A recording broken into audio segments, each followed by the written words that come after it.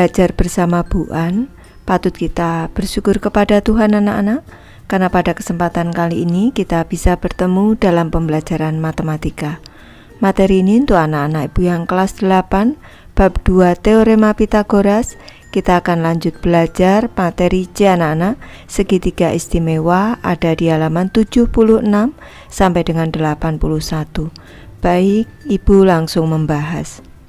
Pembelajaran C segitiga istimewa anak-anak. Ayo bereksplorasi pada bangunan minimalis seperti gambar di bawah. Biasanya menggunakan kerangka segitiga yang memiliki ukuran sisi miring yang sama, baik dari sisi miring kanan dan kiri. Kita cermati gambar 2.7 anak-anak, rumah segitiga minimalis. Berdasarkan gambar di atas diketahui bahwa bingkai yang menyangga kaca pada sisi depan atap berbentuk segitiga istimewa. Jika diperhatikan dengan baik, segitiga istimewa pada bingkai kaca di atas berbentuk segitiga siku-siku sama kaki. Menggunakan aturan teorema Pitagoras, kalian akan dapat menentukan panjang dari ketiga sisi bingkai tersebut.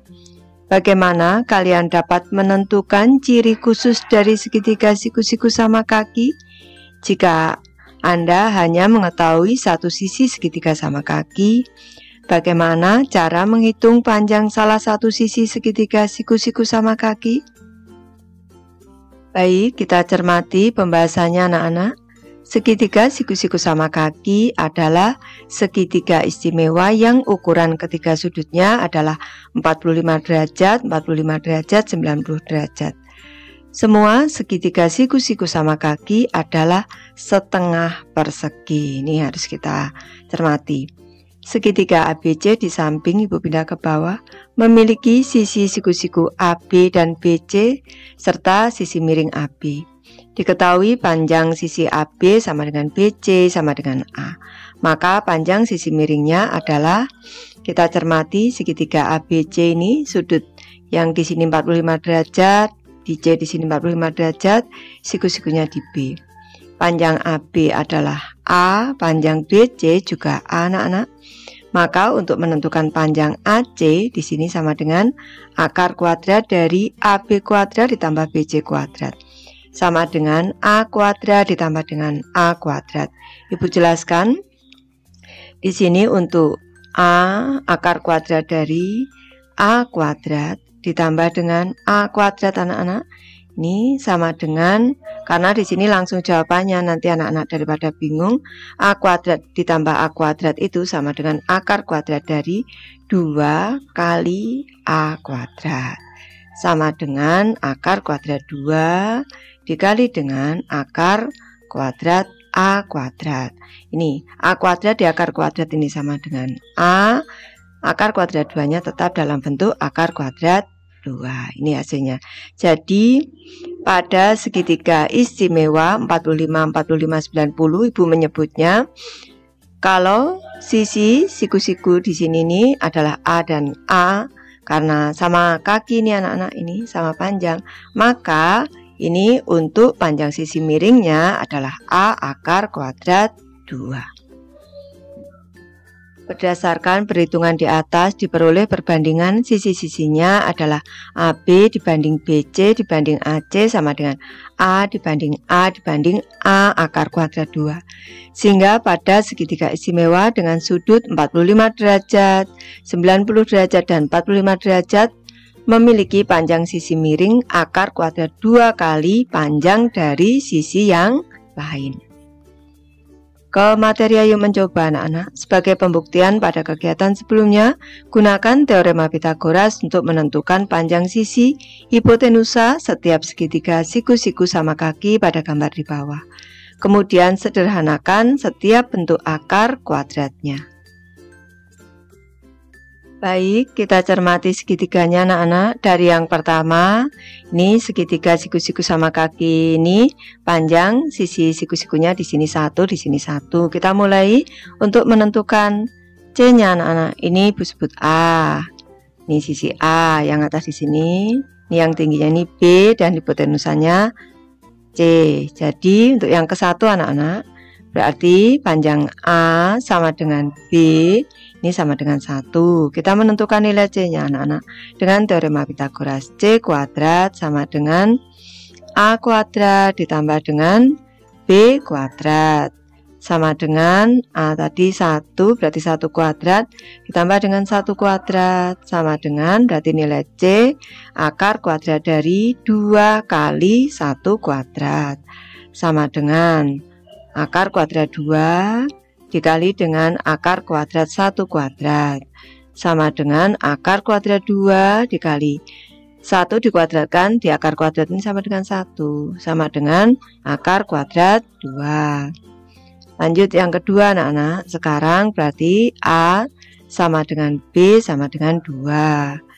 C kuadrat sama dengan A kuadrat ditambah dengan B kuadrat. Ini ke teorema Pitagoras. Nih, sama dengan 2 kuadrat ditambah dengan 2 kuadrat. Nilai C sama dengan akar kuadrat 2 kali 2 kuadrat.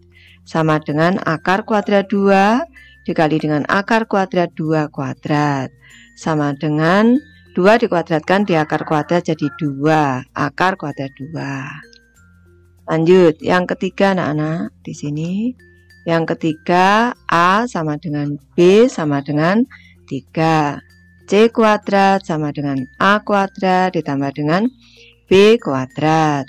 Sama dengan 3 kuadrat ditambah dengan 3 kuadrat. Sama dengan nilai C akar kuadrat dari 2 kali. 3 kuadrat ditambah 3 kuadrat itu 2 kali 3 kuadrat. Sama dengan akar kuadrat 2 dikali dengan akar kuadrat 3 kuadrat sama dengan 3 akar kuadrat 2 lanjut yang keempat ini. A sama dengan B yang keempat. A sama dengan B sama dengan P anak-anak panjang sisinya di sini sisi siku-sikunya.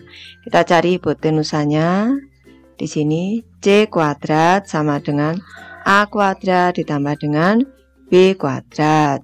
Sama dengan P kuadrat ditambah dengan P kuadrat sama dengan berarti panjang C akar kuadrat dari 2 kali P kuadrat sama dengan akar kuadrat 2 dikali dengan akar kuadrat P kuadrat sama dengan P akar kuadrat 2. Selanjutnya, salin dan lengkapi tabel berikut dengan melihat gambar sebelumnya. Panjang sisi siku-siku, di sini 1, panjang hipotenusanya akar kuadrat 2. Panjang sisi siku-siku 2, panjang hipotenusanya 2 akar kuadrat 2. Panjang sisi siku-siku 3, panjang hipotenusanya 3 akar kuadrat 2. Panjang sisi siku-siku 4, panjang hipotenusanya berarti 4 akar kuadrat 2. Panjang sisi siku-siku 5, panjang hipotenusanya 5 akar kuadrat 2. Panjang sisi siku-siku 6, panjang hipotenusanya 6 akar kuadrat 2 ini dan seterusnya. Kalau 10 panjang hipotenusanya berarti 10 akar kuadrat 2 kalau P berarti panjang hipotenusanya adalah P akar kuadrat 2 Perhatikan panjang hipotenusa setiap kolom yang telah kalian lengkapi. Bagaimana pola yang terbentuk dari panjang sisi siku-siku dan panjang sisi miring pada segitiga siku-siku sama kaki di atas Nih, berarti apabila panjang sisinya ini A dibanding dengan B dibanding dengan C ini sama dengan A dibanding A atau 1 dibanding dengan 1 dibanding dengan akar kuadrat 2. Contoh 2.4 anak-anak diketahui suatu segitiga siku-siku sama kaki segitiga ABC dengan sudut C 90 derajat dan AB sama dengan 15 akar kuadrat 2 cm. Hitunglah panjang AC. Alternatif penyelesaiannya diketahui berikut segitiganya. Ini segitiga ABC, ini istimewa 45 derajat 45 derajat karena sama kaki di sini nih siku-sikunya segitiga siku-siku sama kaki. Panjang di sini A, di sini juga A, sisi miringnya 15 akar kuadrat 2. Sudah Ibu jelaskan di atas kalau panjang AC atau panjang sisi siku-siku dibanding dengan panjang sisi siku-siku lainnya yaitu CB dibanding sisi miring AB sama dengan 1 dibanding 1 dibanding akar kuadrat 2 karena AC-nya sama dengan CB anak-anak. Maka ini AC dibanding AB, AC dibanding dengan AB sama dengan 1 dibanding dengan akar kuadrat 2. Daripada anak-anak bingung, ini Ibu jelaskan seperti ini. Dibandingnya ke bawah saja di sebelah kanan sini biar lebih mudah. Berarti AC ini dibagi atau dibanding 15 akar kuadrat 2 ini sama dengan 1 dibanding atau dibagi akar kuadrat 2. Panjang AC sama dengan 1 per akar kuadrat 2 ini pindah ruas menjadi pengali kali 15 akar kuadrat 2 ini, ini sama dengan akar kuadrat 2 dibagi dengan akar kuadrat 2 ini sama dengan seperti ini. 15 akar kuadrat 2 per akar kuadrat 2 ini sudah bisa disederhanakan anak-anak ini karena ini sama dengan kali. Sama dengan AC nya sama dengan 15 cm seperti ini. Lanjut ke materi ayo berpikir kreatif anak-anak. Perhatikan gambar di bawah ini. Ini ada segitiga ABC, siku-sikunya di C di sini, dengan sisi miring AB di sini, dan sisi siku-sikunya AC dan BC, serta sudut A 30 derajat, sudut C 90 derajat siku-siku, dan sudut di B 60 derajat. Kalian coba buktikan bahwa pada segitiga siku-siku yang sudutnya sudut-sudutnya 30 derajat, 60 derajat, ini dan 90 derajat di sini. Perbandingan sisi terpendek dan sisi lainnya adalah di sini 1 dibanding 2 dibanding akar kuadrat 3. Baik Ibu bahas anak-anak. Baik, Ibu bahas anak-anak, kita cermati segitiga ABC ini, siku-siku di C, Ibu tulis di sini, segitiga A, B, C, siku-siku di C. Sisi terpendeknya BC, Ibu tulis di sini. Sisi terpendek. Sisi terpendek. Ini adalah sisi terpendeknya adalah BC anak-anak.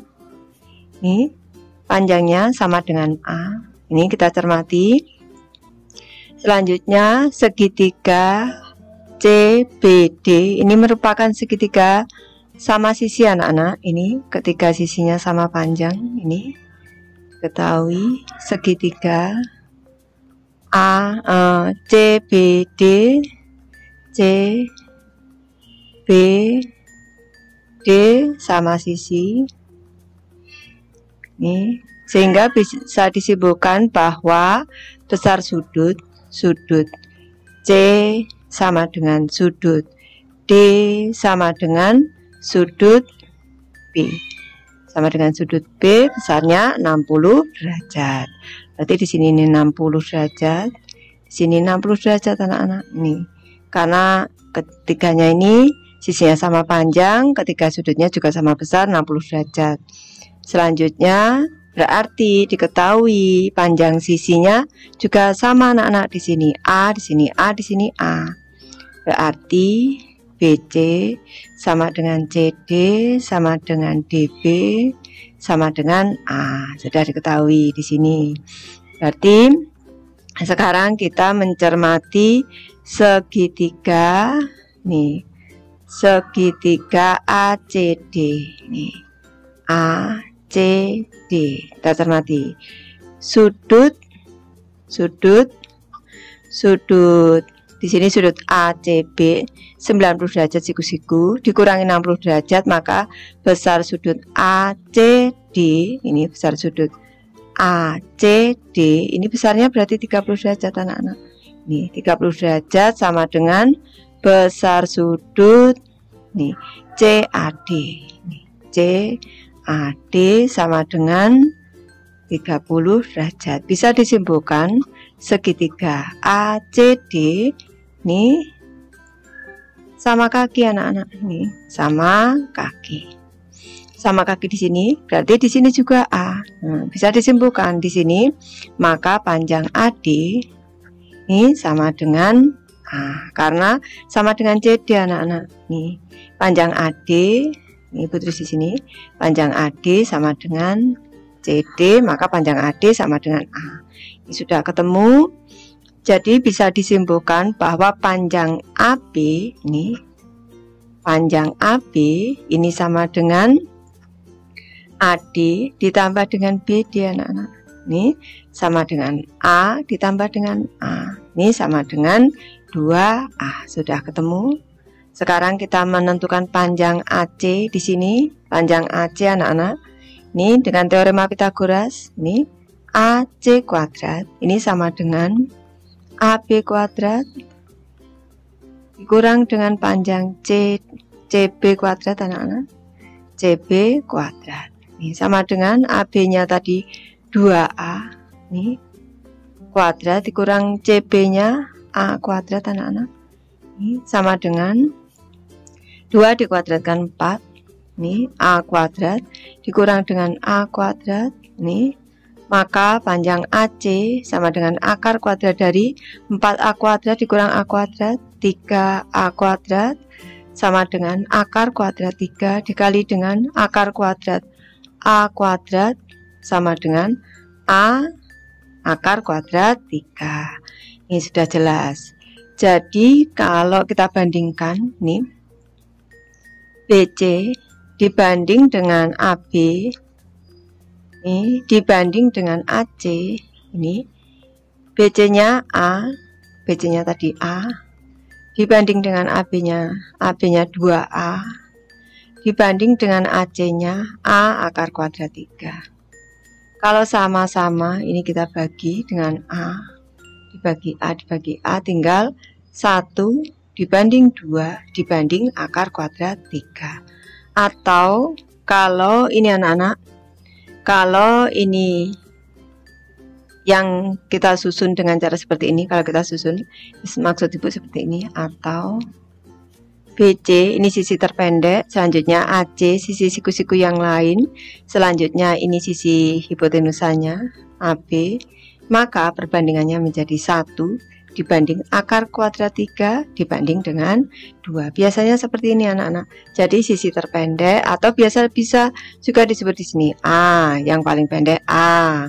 Selanjutnya sisi siku-siku yang lain B. Terus hipotenusanya C ini sama dengan 1 dibanding akar kuadrat 3 dibanding 2. Jadi bisa kita buat kunci anak-anak yang terpendek di sini. 1 di sini nih akar kuadrat 3 dan hipotenusanya adalah 2 panjangnya. Lanjut ke contoh 2.5 pada segitiga ABC, sudut B 60 derajat dan sudut A 30 derajat. Panjang BC 12 cm, hitunglah panjang AC dan juga panjang AB. Alternatif penyelesaiannya menggunakan perbandingan pada segitiga istimewa, yaitu panjang sisi miring dua kali sisi terpendek dan panjang sisi lainnya adalah akar kuadrat tiga kali sisi terpendek. Ini AC, ini AC yang dicari ini kita letakkan di sini. AC dibanding dengan BC sama dengan akar kuadrat 3 dibanding 1. Nih, karena di sini nih perbandingannya di sini satu, di sini akar kuadrat 3, di sini dua anak-anak. Ini perbandingannya. Berarti AC sama AC per 12 sama dengan akar kuadrat 3 per 1 Panjang AC sama dengan ini pindah ruas Ini AC sama dengan akar kuadrat 3 per 1 dikali 12 Ini sama dengan 12 akar kuadrat 3 Ini sudah ketemu satuannya cm. Selanjutnya yang B. Kita cari AB. AB per BC sama dengan 2 dibanding 1 sama dengan AB per 12 sama dengan 2 dibanding 1. Ini berarti AB sama dengan ini pindah ruas menjadi pengali. 2 per 1 dikali 12 sama dengan 24 satuannya CM. Lanjut ke materi ayo bekerja sama anak-anak. Gambar di bawah ini merupakan Theodorus yang diberi nama berdasarkan nama pembuatnya yaitu Theodor dari Kirene.